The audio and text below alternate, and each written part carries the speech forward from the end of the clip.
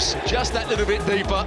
It's a good first touch. He gets it under control. He runs in behind the centre half. And the smallest player on the pitch scores with a header.